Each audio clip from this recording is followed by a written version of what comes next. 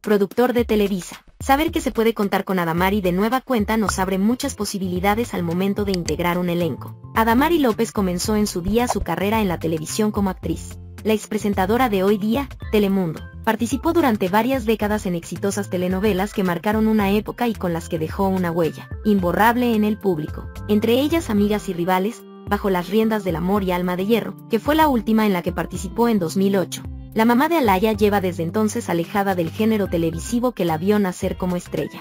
Ahora que concluyó su ciclo en Telemundo, su esperado regreso a la actuación no se ve tan lejano como antes. De hecho, la propia Adamari ha expresado su deseo de volver a actuar en algún momento. Realmente es motivo de mucho entusiasmo saber que se puede contar con ella de nueva cuenta. Nos abre muchas posibilidades al momento de integrar un elenco. Asegura a People en español el productor de telenovelas de Televisa Univisión Ignacio Sada, quien trabajó con Adamari en 2007 en el exitoso melodrama Bajo las riendas del amor que se grabó en Miami. Adamari es una mujer sensacional, un gran ser humano, carismática, simpática, siempre mantiene un ambiente de trabajo muy padre. Es una magnífica actriz y eso quedó demostrado en proyectos que ha hecho también aquí en Televisa desde hace mucho tiempo. Si regresa creo que sería realmente maravilloso. Agrega.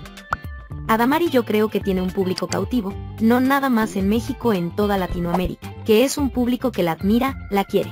Ella ha mantenido una carrera muy sólida y eso la ha hecho estar siempre presente en el gusto del público. Me encantaría tener la oportunidad de volver a trabajar con ella, tan pronto se diera ese espacio. Ese chance y un personaje adecuado para ella sería un gran gozo. Hemos llegado al final, nos vemos en un próximo video.